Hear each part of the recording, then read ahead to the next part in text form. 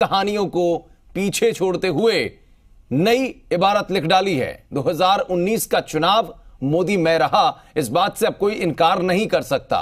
चुनाव भी मोदी पर शुरू हुआ, उसी के इर्द पूरी चुनावी प्रक्रियाएँ घूमती रहीं और अंत भी चुनाव का मोदी के नाम से ही हुआ, क्योंकि एक प्रचंड बहुमत, वो भी मोदी नाम पर ही मिलता हुआ भारतीय जनता पार्टी और उसके सहयोगी दलों को नज़र आया है। 2019 लोकसभा चुनाव के नतीजे जिसे मोदी की लहर नहीं, बल्कि इस बार मोदी की सुनामी के तौर पर देखा जा रहा है।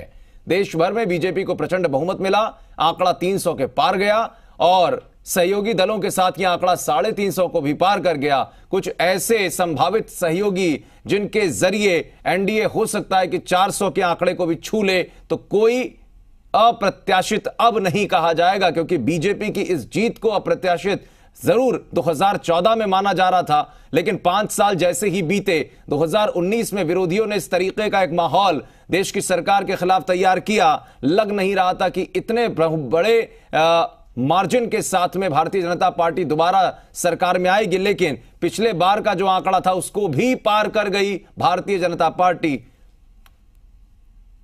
और एनडीए।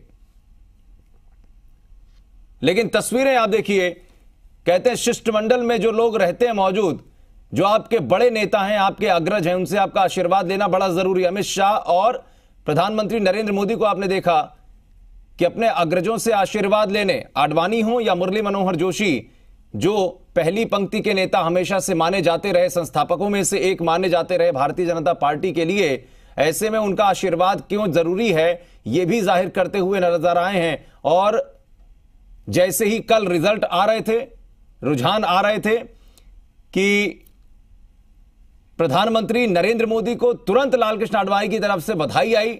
और अब देखिए तस्वीरें, मुरली मनोहर जोशी हो या लालकृष्ण आडवाणी, दोनों का आशीर्वाद लेते हुए नज़र आए प्रधानमंत्री मोदी और अमित शाह। ये जोड़ी इस देश पर अगले पाँच साल तक प्रचंड बहुमत के साथ फिर राज करने वाली है। वो अलग बात है कि देश के प्रधानमंत्री इस बात को कहते हैं कि यह जीत देश की है, लिहाजा उसको समर्पित।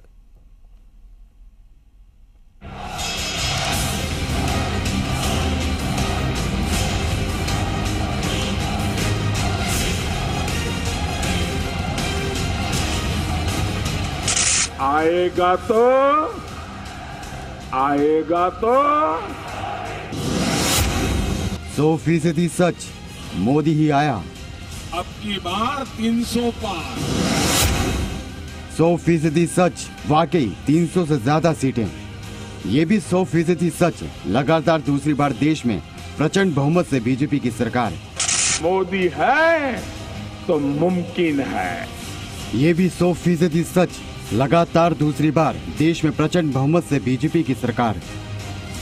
भारत की राजनीति में अरसे बाद किसी राजनेता के कॉन्फिडेंस की तूती बोली है। देश ने भी यकीन किया कि हाँ मोदी है तो मुमकिन है। देश ने तो भरोसा जताया कि चौकीदार चोर नहीं, प्योर है। और उसके दम से नया भारत बनना श्योर है। आपका ये चौकीदार पूरी तरह से चौकन्ना है।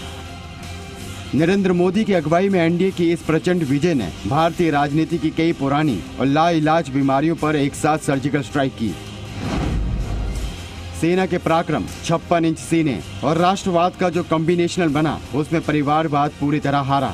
जातिवाद की गोटियाँ चलने वाले बुरे पिटे, तुष्टिकरण की चालों को देश ने कड़ा जवाब दिया। ये भी साबित हो गया कि भ्रष्टाचार, घपलों और घोटालों के बगैर सरकारें चलती भी हैं और दोबारा चुनकर भी आती हैं। 2014 के चुनाव में देश का वोटर मुखर था। कांग्रेस के 10 साल के राज के खिलाफ करंट सतह पर था। लेकिन इस बार उसने सरप्राइज़ स्ट्राइक की।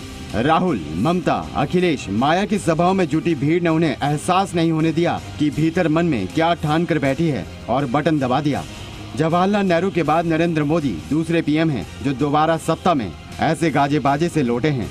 उन्नीस सौ बावन का चुनाव जीतने के बाद पंडित नेहरू ने पाँच साल का कार्यकाल पूरा किया था। और उन्नीस में दोबारा जीत कर सरकार बनाई थी। 2019 की जीत बीजेपी की अब तक की सबसे बड़ी जीत है। 2014 में अकेले बीजेपी ने दो सौ बयासी सीटें जीती थी। 2019 में बीजेपी अकेले 300 से ज़्यादा सीटों के साथ सत्ता में लौटी है। 2014 में बीजेपी 27 राज्यों में जीती थी। अब बीजेपी 28 राज्यों में जीती है। 2014 में बीजेपी ने 10 राज्यों और केंद्र शासित प्रदेशों में क्लीन स्वीप किया था। 2019 में बीजेपी ने 11 राज्यों में ये कमाल किया। 2014 में सिर्फ़ बीजेपी को 17 करोड़ वोट मिले थे। इस बार पूरे एनडीए को करीब 27 करोड़ मिले हैं। 2014 में अकेले बीजेपी को 31 प्रतिशत वोट मिले थे। इस बार बीजेपी को सैंतीस फ़ीसदी यानी 22 करोड़ से ज़्यादा वोट मिले हैं। चुनाव में बीजेपी ने 50 फ़ीसदी से ज़्यादा वोट पाने का लक्ष्य रखा था। उसे पूरा भी कर दिया। कांग्रेस हिंदी बेल्ट में अपने वोट पाँच महीने